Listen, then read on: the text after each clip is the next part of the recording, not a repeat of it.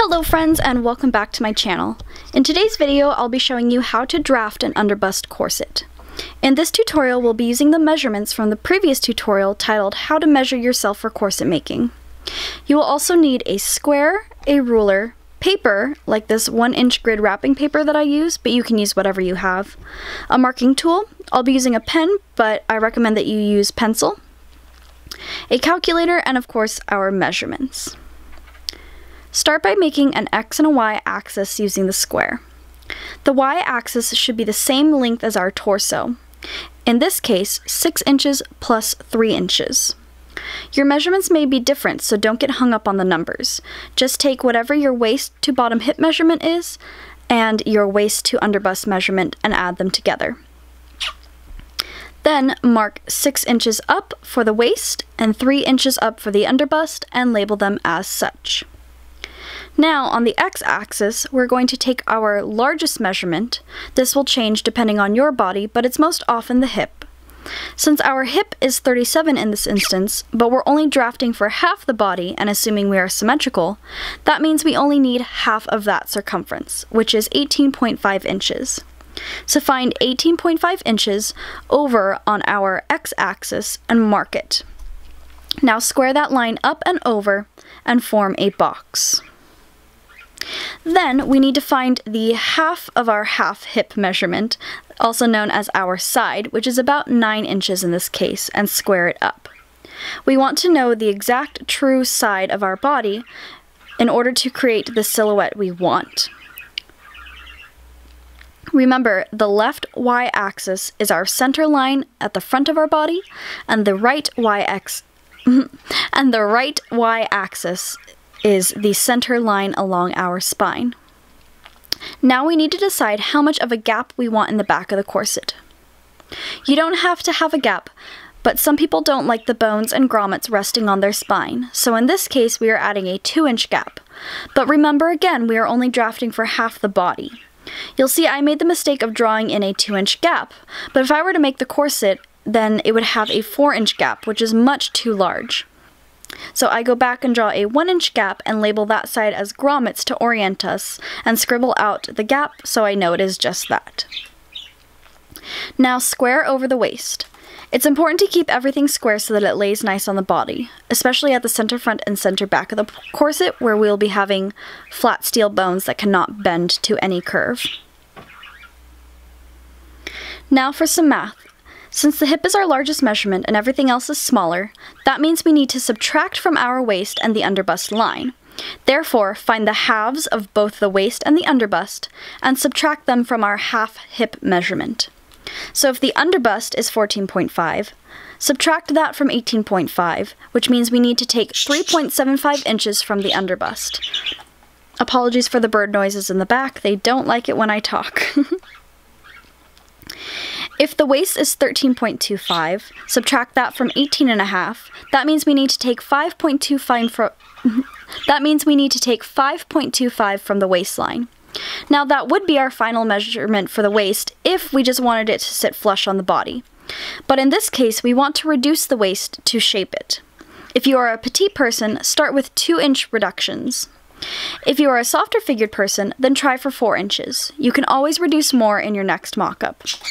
So, if we are reducing the waist 2 inches, then we need to add that to our amount reduced. But remember, just like the grommet mistake, we are only drafting half the body, so that 2 inches should really be 1 inch added to the 5.25 we need to take out, making the total amount we need to reduce the waistline 6.25 inches. Now let's get to reducing. Because we're altering the figure's silhouettes on the side, I like to take most of my reduction for the waist and underbust from the side. Therefore, I'll be taking an inch out on each side of the side seam at the underbust, making sure that the side seam is balanced and mirrored for a smooth side. Then I'll be taking 3 inches from the waist, an inch and a half balanced on each side. Now, when connecting these two lines, it's important to keep in mind the shape you want. If you want the corset to cup your ribs, then this line should be curved in towards each other. If you want a straight rib, or conical, meaning cone-shaped, then you'll draw it straight. Here I drew a conical rib. Also, how much of a curve you do or do not put at the waist flowing towards the hip will determine how angular or curved the waist is. Now, when we connect the waist to the hip, we need to remember three things. First, we don't have to reduce the hip since it's already at our natural measurements, meaning we will make the hip lines curve to meet the side seam. To determine the hip shape, we need to know what the desired silhouette is and draw just that. If you have sensitive hip bones or very prominent ones, this is where the circumference and vertical measurement of the iliac crest will come into play, as we discussed in the last video. You can use a French curve to make this smooth and symmetrical as well. However, if you don't have a French curve, you can easily print one off the internet to do your curves.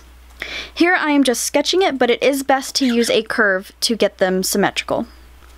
From here, I determine how I want the front panel to look. If you have a busk or a zipper, make sure to account for the width of those, plus a supporting flat steel next to them, as well as a steel on each of the sides of the seam. In this case, we have a busk in mind, so I end the bottom of the first panel about 2 inches over, assuming that all the hardware adds up to about an inch and a half wide in total. As for the placement of the top of the seam, generally half the distance from nipple to nipple looks flattering, but you can make it any angle or distance you like, straight even if you so prefer. From there, I take more from the waist. I took more from the right side to keep the first panel's edge mostly straight, so that there is very little curve in the stomach, since we are going for a flat tummy look here. However, the second panel's first side has more of a reduction and a curve to bring the waist in more, as when it is sewn to the first panel's edge, it will straighten out. Now we want to draft the back third of the body. I split the back into at least two panels to make sure it sits nicer around the curve of the body, but also to make room for sway backs. In the measurement video, I mentioned how it's good to take note of if you have a sway back or a large backside. If you do, then you may want to take a bit of a reduction out of this seam as well to accommodate the curve of the body. Also note how I connected the seam at the underbust, and that's because I thought I already took out what I needed already. If I had taken out more from the underbust, it would make the underbust fit improperly and make the lacing gap look like a V, which is an improper shape for the lacing panel. However, in this case, I did not take enough, so I fixed that. Also note how I made the connection at the hips a gentle curve. This is something to test in your mock-ups to see just how drastic of a curve you need to fit your body. Now I am marking how far down the back I want the bottom edge to be, referencing the measurements we took earlier.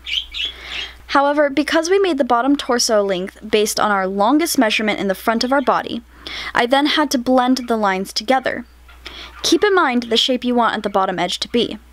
It can be a gentle point like this, curved, straight, batwing, scalloped, or more, you just have to draw it as such. Now, we wanted a straight underbust, but let's say you wanted a pointed underbust. That's where the center front measurement would come in to help you determine how far up the point should go. Or if you want the back to come up higher, that is where you would use that measurement to draw the back by the grommets higher, making sure to slope it down to the edge of the side seam panel so that it doesn't impede the arm movement or cut into the underarms. Also, if you wanted the corset to have more panels than this, then you can divide the corset into the panels you want using the dashed lines I did, making sure to leave the side seam there. And from there, remove your reduction between however many panels you have. From here, you can cut this out and trace it onto your fabric, being sure to add seam allowance. I prefer to cut it out, paste it onto another piece of paper, and add a half inch seam allowance around it. Once you have done either of those, you are ready to start sewing your mock-up. I hope this helped, and if it did, consider sharing it with your friends and hitting that subscribe button. It would help me out a lot. Thank you so much for watching, and stay tuned for the next video where we go into the materials you need to start building your first corset. Thank you so much again. Remember, cosplay is all about having fun, and I will see you in the next video. Bye!